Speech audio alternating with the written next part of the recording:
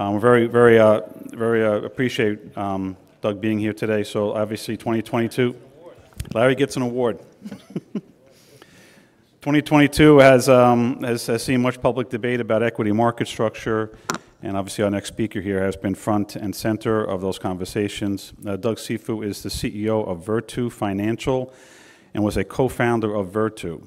Uh, previously, Doug was a partner at the international law firm Paul Weiss, where, among other things, he was co-head of the private equity group. Doug serves on, on boards of several associations, and has been recognized for his achievements by Crain's and Financial Technology Report. Uh, interviewing uh, Doug is Rich Repetto, is a managing director and senior research analyst at Piper Sandler. Uh, previously, Rich was a principal of Sandler O'Neill. Uh, his research coverage in, included uh, e-brokerages, execution venues, and e-specialty finance sector. So I'm going to turn over to Rich, and then when Doug is done, we're going to have Larry come up, we'll have a little STA family moment, and then we'll, then we'll uh, have everybody spill outside. Okay? Thank you.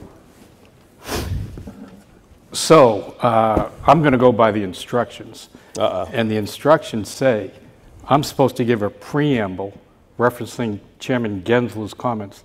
I don't even know what preamble means. Yeah, that goes before the amble. I'll do a ramble, how's that?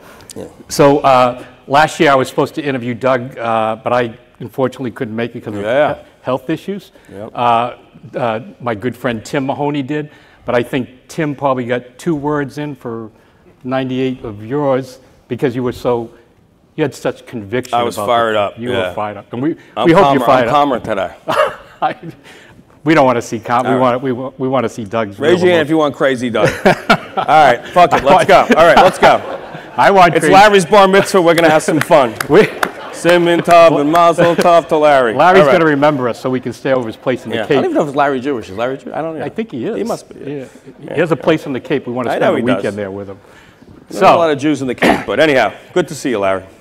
so, so let me start with my ramble, not preamble. My ramble says that on June 8th, uh, Chairman Gensler gave a I remember it. It's a At- day that will live in infamy. at a certain conference. I don't know whose conference that was. Yep. Uh, the best conference. Now, now Jimmy's going to, in the first six months of the year, this is the best conference in the last six months of the year. Who thinks Rich's talking too much already? Raise your hand. All right. I'm trying to make We up. got a question now. Let's go, Richie. Come on. They didn't start I'm going to have lost right, time. I'm sure you'll make I'm up kidding. soon. I'm messing around. Go ahead. So anyway, Chairman Gensler did lay out. He uh, did. in his speech. at chair, my- chair, at- not chairman. excuse chair. me, Chair Gensler chair, yeah. at, a, at my conference laid out his plans for a retail equity market structure. It consisted of six points. Yep. And I'm not going to go through all six points, but Okay. you know them. We'll discuss some of the points. I do. Uh, but if you were actually paying it, you know, had followed them. uh, uh, it wasn't too new of things, but he carried more force and, he, and probably took it to a little bit more of a, an extreme, if it's fair to say. Sure. So anyway, let me get into some of the content and, how, Okay. and, and let you do the talking. So we'll switch this over to you. So first was uh, one of the big topics, one of the big six, was payment for order flow. Yep. And let me give you a couple of quotes, and I'm trying to be Switzerland here, be neutral.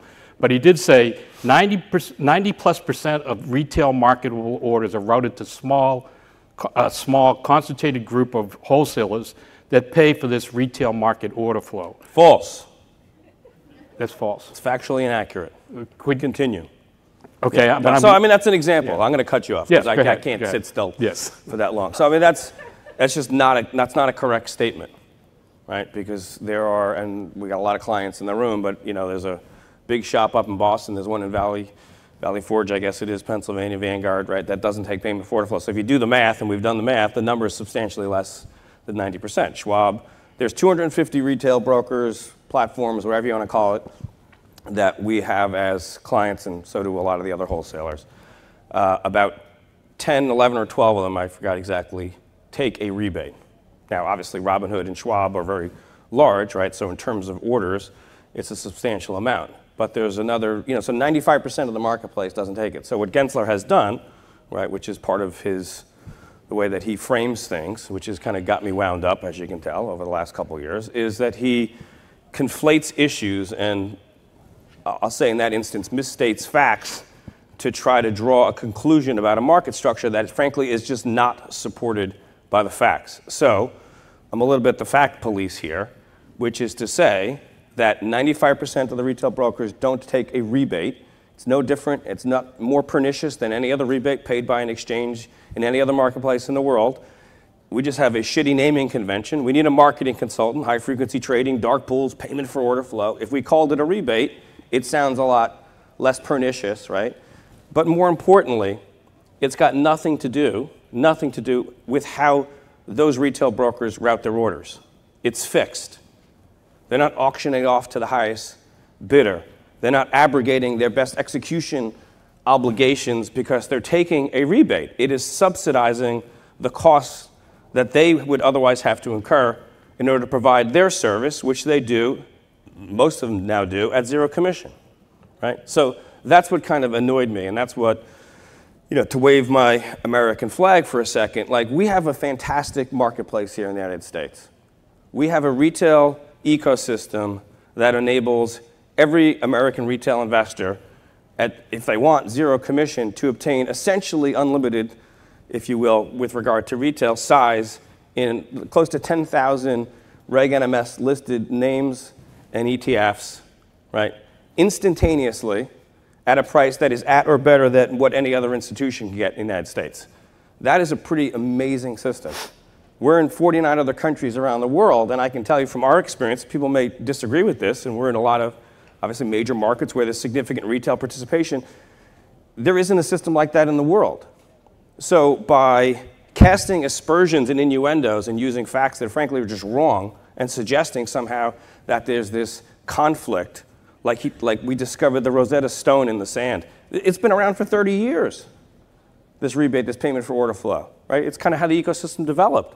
There's regulation that the SEC has promulgated around payment for order flow. It's not like something new right? Like they discovered, you know, fire and they bring it to the caveman. And that, that's sort of what irritates me about the, the entire debate around this. I'm, I'm all about having an open, honest, and transparent and data-driven debate on these topics, but when you, you know, just insert a political view and use facts in a way to make that point, they're just not, they're just not supported by facts and data, Rich. And that's really where I, where I came at. And that's really Absolutely. like yep. why I think that particular topic you know, it gets all the headlines, it gets all the news, and it's kind of now shifting into like wholesaling and auctions. We'll get into all that stuff. But when it comes down to payment for order look, it's an expensive virtue, and I've said this publicly before, and I'll say it again.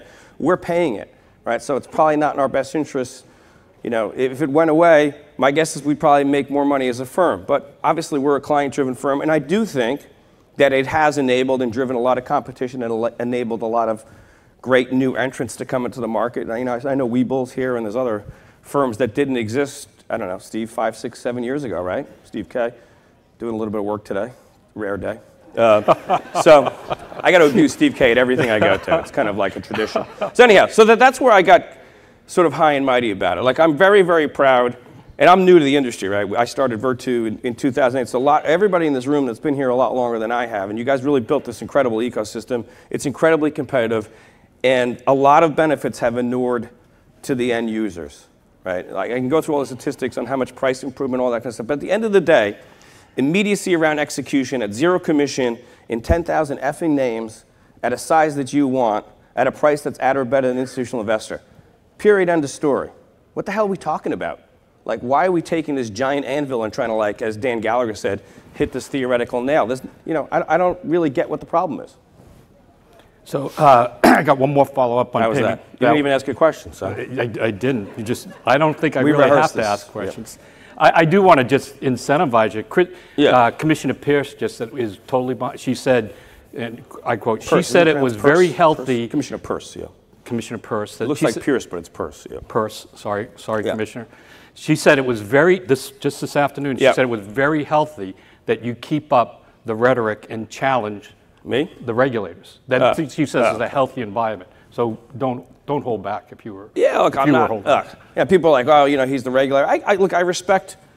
You know, we're highly. I'm a lawyer by training. Like I did this for a living for 18 years at Paul Weiss. We, we, I run a highly regulated business. We're registered every place in the world. I've appeared before the MAS in Singapore and the FSA in Japan. We registered there as a high-speed trading firm. We're up in Canada. We're regulated by the CBI in Ireland. I'm not like some you know, anti-government, you know, anti-regulator kind of uh, uh, person, and Virtu certainly does not, you know, conduct itself in that manner. We're very proud of the fact that we engage with regulators all around the world, um, but I want to do it in a fair way, right? Without like the, the injection of, I know I'm in Washington, so this is a naive thing for me to say, without the injection of politics. Really, what this is all about, Rich, is, and, and we've talked about it before, and I've said it before, you know, in Washington, don't let a, a crisis go to waste, right? So when the House Financial Services, I knew we were in trouble. This was like when I was watching TV on March 31st, 2014, Virtu's about to go public. 60 Minutes is doing its story on Flash Boys,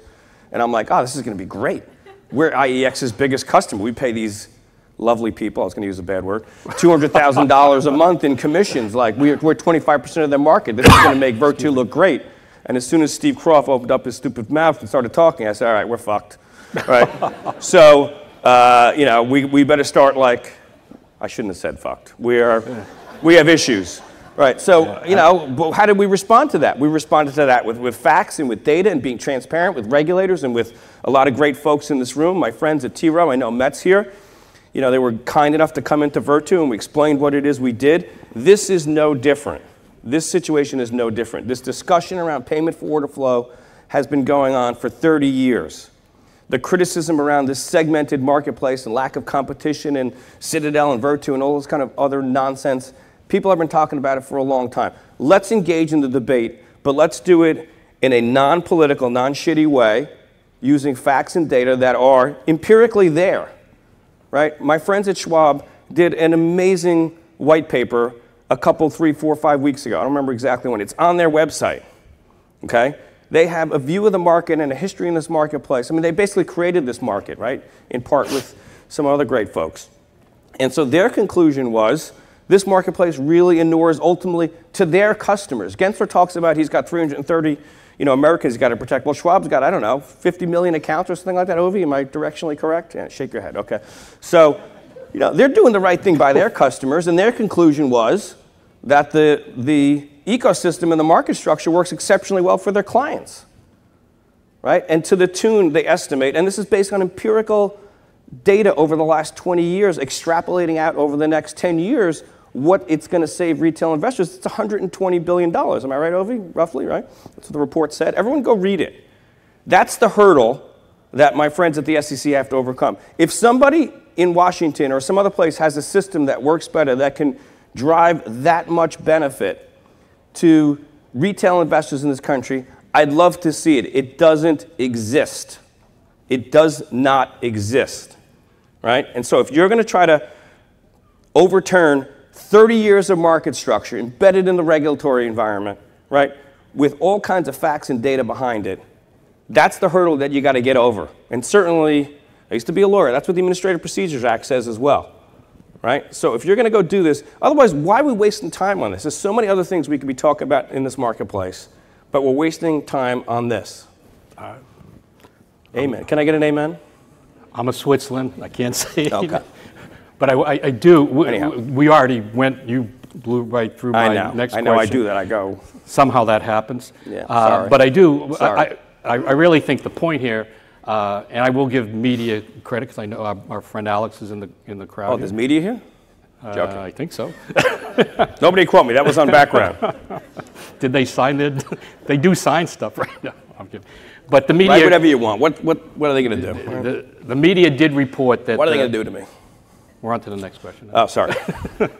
The media did report that the ban on payment for order flow was, you know, according Yeah. to them, was off the table. And, and I guess, just from a human Yeah, I- I, I wanted, to, what, did, what was your first reaction when you read that? Did you know it was coming? No. Did you think, do you know why, or have a, what was your feeling why that happened? And have you had any discussions, you know, with the SEC?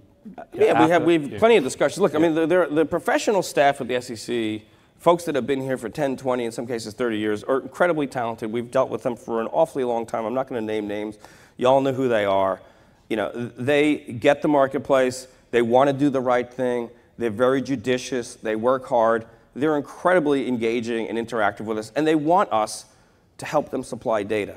Like in prior administrations, the chair, you know, Clayton used to call up when markets went crazy, and he'd be like, "Listen, I want to make sure I understand this. You know, do you have any data to support like what happened in like when the VIX went crazy or when crude, you know, went negative and things like that, right? Nothing like, you know, inappropriate, whatever it was. We have tools and we have a view on the marketplace, and I'm sure he called six, seven, eight, ten other market participants. That's how it should work, a good, healthy back and forth. And certainly, we continue to engage with that, you know, uh, with, with the SEC, Rich. But at the end of the day, why do I think, you know, you'd have to ask the reporter. I know it was Bloomberg put it out. You know, I, I talked to the reporter. I'm sure she has her sources and she has a good basis for putting it out.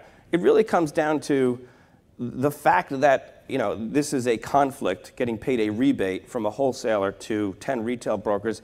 It's really just not that big of a deal right? It has been the case for 30 years. There are SEC rules that govern how that is disclosed. So again, it's not like they unearth some practice in the industry that, oh my God, there's this conflict, right? We have a very large institutional business. We have thousands of institutional clients that we route orders for. They pay us a commission. In the US equities market, if we send that order to an exchange and remove liquidity, you know, our cost of goods sold can be 60% of the commission. If we send it to an inverted venue, we actually make money, right? So we have a conflict as an institutional broker, right? Everyone gets that. That's a conflict. How do we deal with it? Well, we're transparent with our clients. We act in their best interest, right? We don't ban rebates across an industry because there's a conflict. You know, you have a conflict as an institution. You cover Virtu. You actually say nice things about us. So if we were to sell stock, we'd probably go to you. Some other banks have a hold. There's a stupid bank that starts with an M and second word is an S uh, that says that they should sell Virtu right now. If I went to that bank in New York and said, listen, we want to raise two, three hundred million dollars, can you sell equity for us? You think they would say no? Does anyone think they would say no? Of course they wouldn't. They have a conflict. Their analyst says that you should sell stock. Their ECM desk is going to go tell 100 hedge funds that they should buy our stock. That's a conflict. Does Morgan Stanley, oh, I said it, not put out research? of course they do, right? They disclose it. There are rules about it, they're transparent around it. There are conflicts all around the place in financial services. I used to be a lawyer. That's how you deal with conflicts. You disclose them, make sure clients understand them, and act in the best interest of your client ultimately, right? So that's why his position is completely untenable. Right? So I don't know for a fact that he's pulled it off the table, whatever that means. I have no idea. He's not telling me his inner thoughts on these things. Right? So if it is that is the case, terrific. I, I actually would like, if they put out a proposal trying to ban payment for order flow, I'd like to see the economic analysis on it.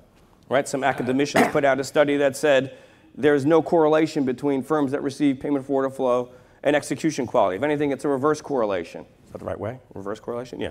So Uncorrelated. yeah, it's uncorrelated, right? There you go. So, I'm not the smartest guy. I'm not a math guy, liberal arts guy. So, uh, look, at the end of the day, it, it, it was, to me, it was just a complete red herring, right? It was a complete red herring. He was conflating the issues of payment for order flow and wholesaling. He did it initially, and we called him out on it, and it's just, to me, it makes no sense. It makes no sense.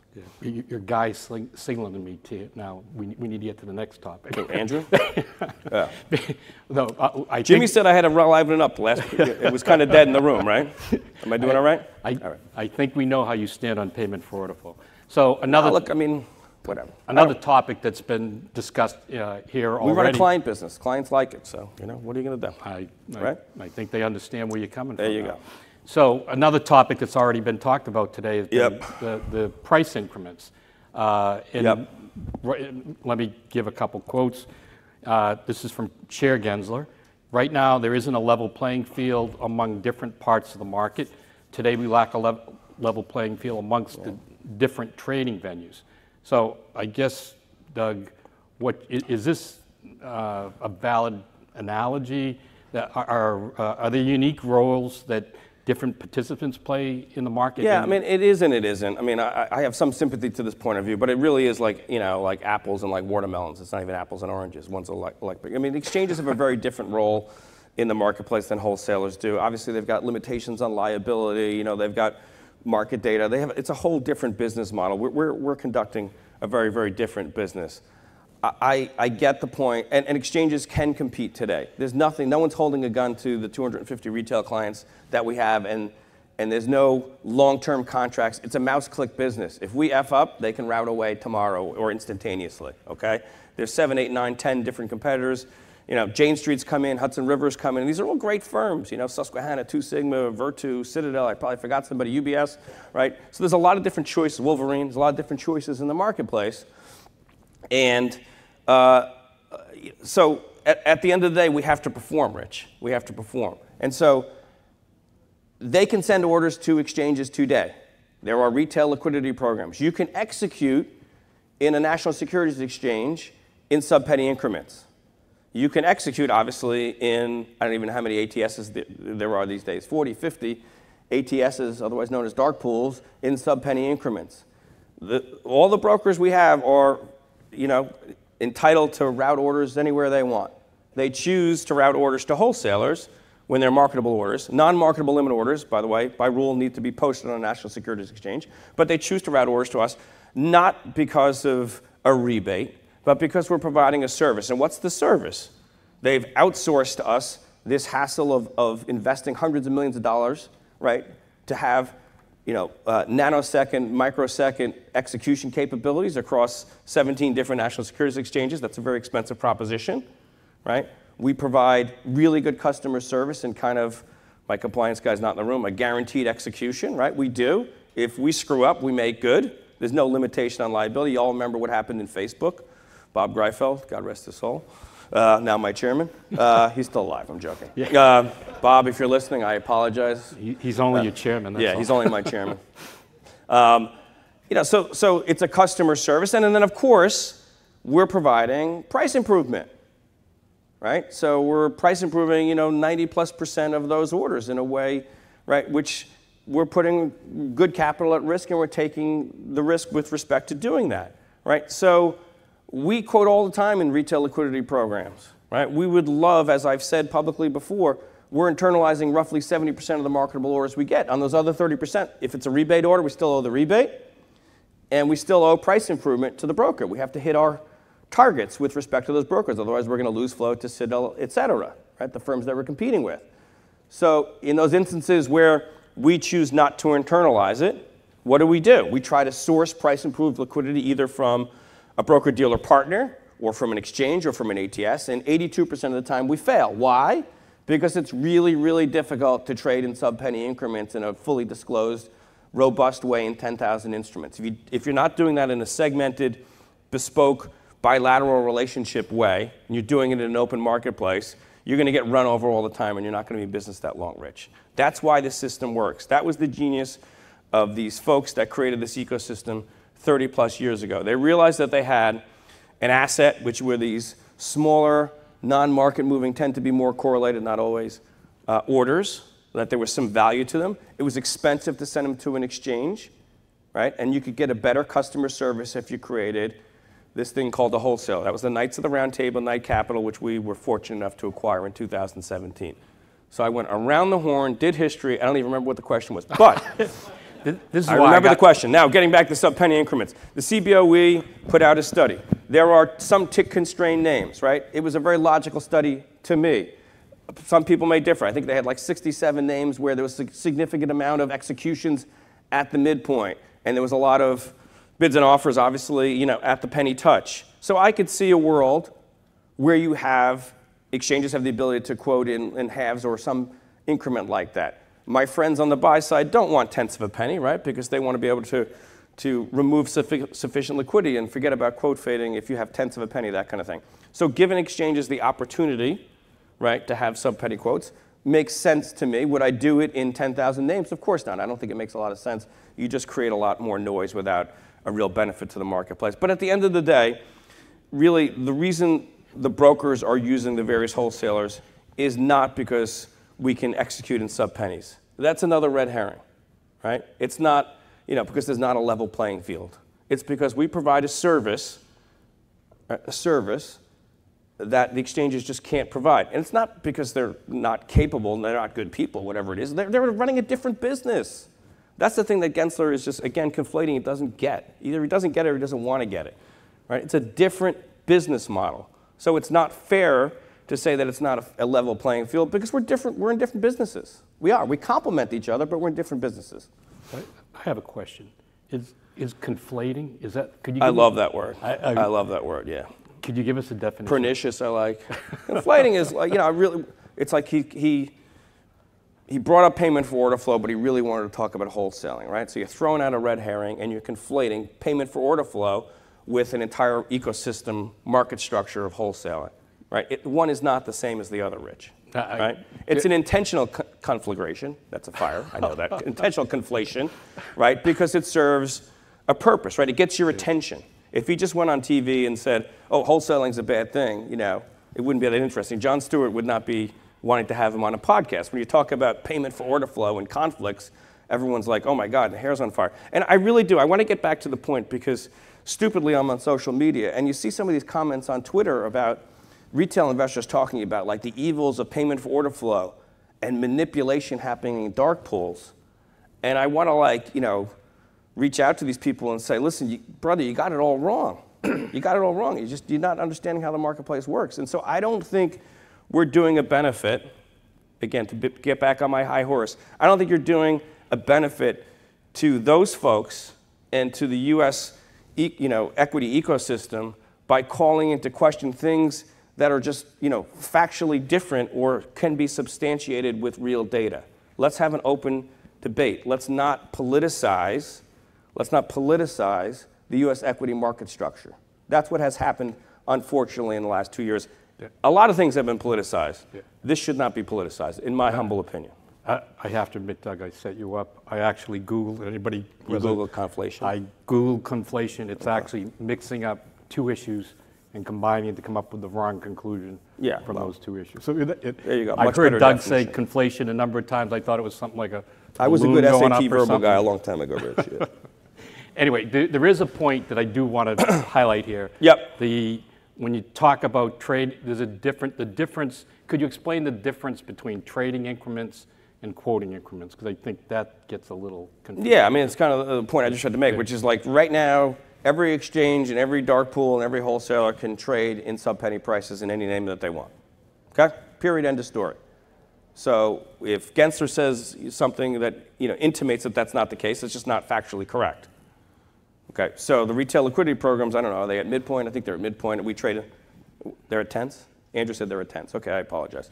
Right. So they have flexibility to do that. Great. We trade there. We would love. I, I have in, tongue in cheek said, people, please trade in IEX midpoint. Go to New York midpoint because when we're routing those marketable orders, we would love to get price improved liquidity. Do us a favor, please quote there. Okay, or please execute there.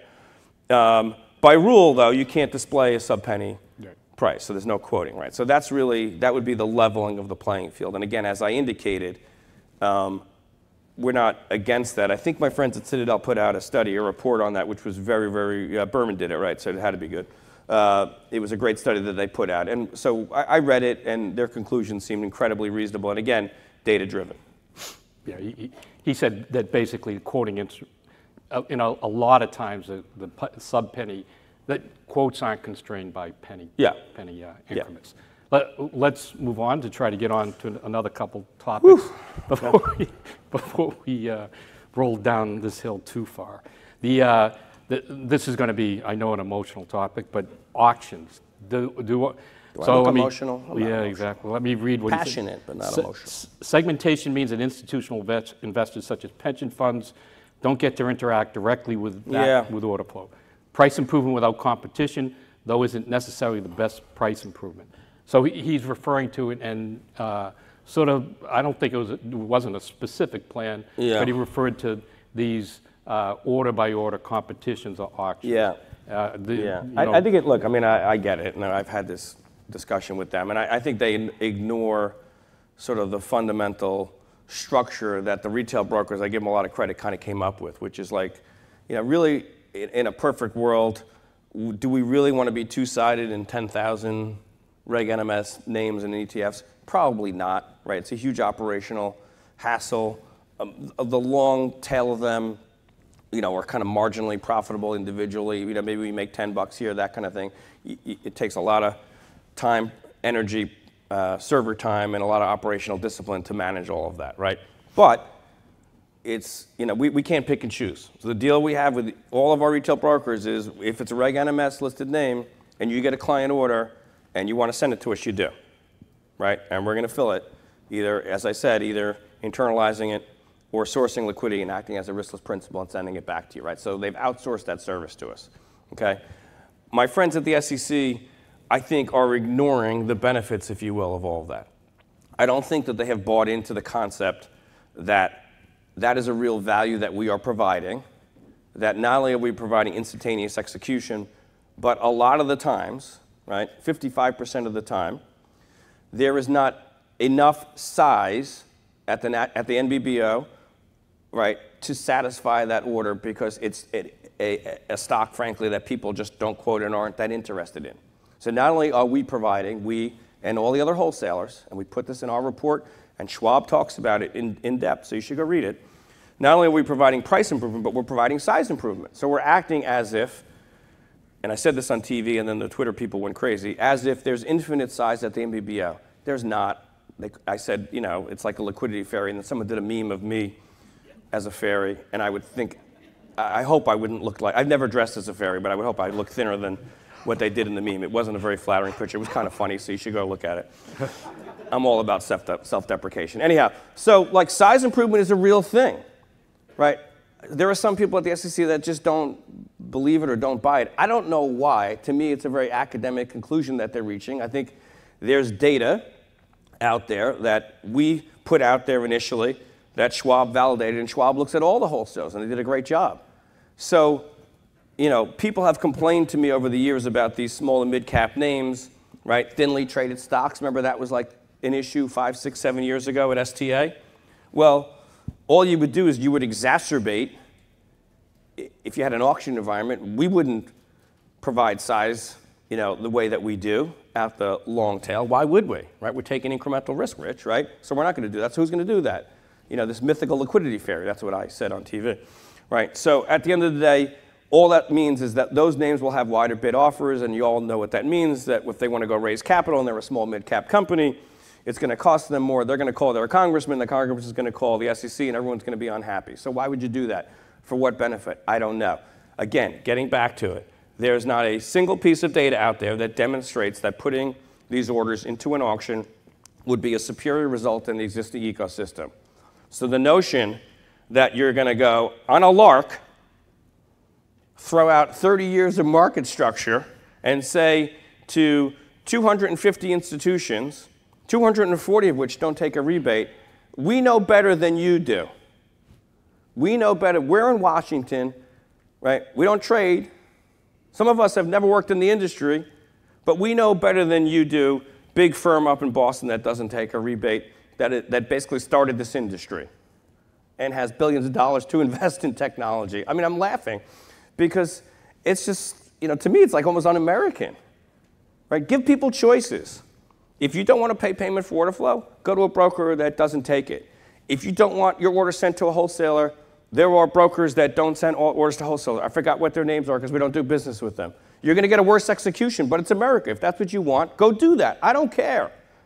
Right? If you think auctions are great, then people in this room or elsewhere should start auctions and brokers have a best execution obligation. If the execution quality is better in an auction environment, then all of these firms will be obligated to send some or a vast preponderance of their orders there. They won't because it won't be, but allow them to compete. Fine, I don't care. There are, I, somebody has an auction today. I forgot what it's called. PDQ. Right. They have an auction today. It, do they have any market share? Andrew's shaking his head no. Right. I don't want to insult PDQ. I'm sure it's a wonderful group of people. We probably trade there a little bit, right? We do. We, we connect. Uh, but the marketplace speaks, right? The marketplace speaks. All of these choices are out there today. What are we doing? Why would we mandate that these really, you know, intelligent, successful, well-funded, technologically enabled retail brokers, all of a sudden, they don't know anymore that they have to, orders have to be sent to these auctions. I mean, to me, it's just like, it's cuckoo. What are we talking about this for? It's not a chance in the world that that would, that would survive a legal challenge either, Rich. Not a chance. Just the, not, the I'll it, take it on a contingency. There you go. I'm the, not a lawyer uh, anymore. In your second job. Yeah. The, uh, just some of the numbers that Schwab did put out 3.4 billion in size improvement. You had talked about 2 billion. Yeah, well, that was just Virtu, right? Just Virtu. Yeah. They put out 3.4. And size improvement is that they honor the full order at, at that, whether it's 100 shares at the NBBO, Yeah. they honor a 500 share, uh, fill Yeah. a 500 share order for that best price. Yeah, it's really interesting to me. I come back to the Flash Boys thing. Like to me, this is an important. Like every eight years, we go through this like you know public like like hand wringing about like our markets, and everyone's like, oh my god, like it was like you know speed bumps and you know. And, and Michael Lewis writes this crazy book, 99% of which was just complete nonsense, right? And, and all it did was create more John Ramsay, I apologize. I know you're in the back of the room. You're a lovely guy. But all it did was create more like noise and expense in the marketplace. It didn't really solve anything, right? There was not a problem to be solved. We're going through the exact same thing right now. This is what this is all about, right? Instead of speed bumps and latency arbitrage, it's conflicts and PFOF and Robinhood and Citadel and meme stocks. And it's just like words. But at the end of the day, when you look, you look under the covers and you look at the system, and you look at the benefits, right? And you're a sensible, non political person looking at facts and data, you cannot reach a conclusion other than this system is pretty effing good, man. It's pretty effing good. One more topic, and we got to narrow the time. Uh, This is why I got my, my, my discussion in up front. But the, uh, the last topic is NBBO. Uh, He did say the current NBBO is, ge- we're going to do a lightning round at the end. Yeah, this is another conflation point. Yeah, ask the question. I'm sorry, I talked too much. It's a conflation point. Go ahead. He said the NBBO is invalid, right, because there's all this off exchange trading. He originally said, oh, the wholesalers have all this information because he didn't know what that the TRF probably existed at the time, right? We don't have information. Everything we execute, we immediately print to the tapes. Everybody knows that. Yeah. So the NBBO. I don't here's need what- to ask the question. Go ahead. don't even ask the question. Come on, Rich, I love you. But look, the NBBO represents what people are willing to publicly proffer as liquidity. All of us in this room that trade on a, on a national securities exchange. That's what it is. That's, what, that's all it is. Right? The notion that Virtu, Citadel, and other firms, right, and big banks that are doing big blocks may have other orders, may have an interest that is substantially larger than that what they're willing to post, right? That's just the fact in every trading market. So is he suggesting that a better NBBO would be okay? Right now, Virtu, our risk limit on Tesla is 37 million, so we're going to post that on a national securities exchange. It's absurd. That's not what the NBBO is, right? So it, it represents exactly what it says it, it represents. If the notion is, well, because wholesalers execute within the NBBO, you're not getting a good indication of real price improvement, there's an answer to that. Congressman Foster from Illinois had, the, had it. He sent a letter. Just measure it off the midpoint. That's how the brokers score us, right? How close do we get to the midpoint? So the midpoint ain't going to change. Whether the MBO is here or the NBBO is here, it's not going to change. So again, it's conflating the issue. It's a red herring. There is a solution for it, right? Put it on the confirm. I don't care. The retail brokers could probably figure out how to do it. They're smart folks. How close did you get to the midpoint? So then you could lay broker A, B, C, D next to each other, and you could decide if that's what's important to you. Are you getting better execution quality from broker A as compared to broker B compared to broker C? Right? Did I answer the question you were going to ask me? uh, That's EQ. I was going right there, Doug. All right, good. The, uh, I front ran you. I read your mind. that happens. We don't The, do uh, that. here. We don't do that for the record. I wish we, could. We'd make more money, but we can't. w- Joking. We got a couple minutes Like left. latency arb. Everyone's like, oh my God, latency arb. I'm like, I wish we could do that, right? Seems like a good thing. It's not illegal. We never could do it. You- You're cutting into my People would do lightning it to us. Your lightning round. So we have two minutes left. I Oh, just, I, I'm just wanting you, Doug. I'm going to give you a topic, Oh, and if you can give me your first thing that comes to your mind, no longer than one Mama. sentence, uh, either a word or one sentence. And I'm also warning you, some Help of them me, may mama. be I don't want to get in trouble here. Yeah. some may be Any market worse. structure related, some may be maybe not. Okay. So uh, first, are you ready? Yes. Retail markets, The best in the world. U.S. Go. 12 billion, billion shares a day, I wish it was more. 37 million contracts per day in options. I wish we could compete better. Jimmy Toes. Great fucking guy. Great, he's a great fucking guy. Uh, Who does raise your hand if you don't like Jimmy Toes? All right. No one raised their hand. Raise your hand if you like Jimmy Toes. All right, there you go. Everybody pay your dues, all right? Ji- Jimmy Toe's age. Were we a gold sponsor? We were a gold sponsor, right? We were gold, yeah. Jimmy Toe's age. What? 47 and a half. Was I close? Okay. Over? Did I win the showcase? Remember Price is Right? You always had to bid low, Jimmy. A dollar! I always loved that guy, the asshole at the end that bid a dollar. Yeah. Remember that guy? He wasn't going to win both showcases. Remember if you, if you, uh, anyhow. I love that show. E- equity What was the name of the guy that was Price is Right guy? Bob Barr guy. Blanked for a second, yeah. Equity markets. He was a good golfer, by the way. You ever see? He was in uh, Bob Barker. He's a good golfer. He was in. Uh, You're confusing me in my lightning yeah, round. see, I'm, I'm distracting you. Is that my brain works? yeah, I'm conflating you, Rich. We're conflating. You- uh, Google is going to get a big Rich is a demand. great guy, isn't he? Great American, West Pointer, class of 1980. Served his country, helicopter pilot. Well, I'm not bullshitting. This is legit. We love West Pointers at Virtu. My partner Vinny was a West Pointer, class of 77. We got a bunch of West Pointers that work at Virtu, so God bless them. Hon- almost as honorable as Vinny. So uh, last couple, and we'll call we'll call it quits. Uh, I couldn't do a pull-up, so there's not a chance I could have gotten to West Point. I haven't done a pull-up my entire life. You have I brain- tried. You have brain strength, though, Yeah, Bill. yeah. Doug. I'm- So the uh, Thank you, Rich. That's kind. equity markets 2023, Not changed too much. equity markets 2024. A little bit better, but not too much change. Tom Brady. Fuck him. Eli. that just popped out. I apologize. I'm a life. I was watching the Giants when they played at the Yale Bowl in 1975. That's how crazy my father was. He made us go up there. All right. Yeah. And my daughter goes to Yale now. I went to the game last week. Isn't that cool? Okay, Half quick- empty. They beat Dartmouth, though. Let's go, Yale. Quickly, quickly. Gisele Bündchen. What? Gisele Bündchen. Who's that? I have no idea. I'm happily married. All right. Florida Panthers. Uh, Stanley Cup. We open up tomorrow night in the island. Let's go, Panthers. Crypto. I'm excited about it. Talk to Jamil, though. He's much better at this. EDX markets, yeah. Virtu. I love it. My home. That's a wrap. All right. Thank you, everybody. Thanks, Rich.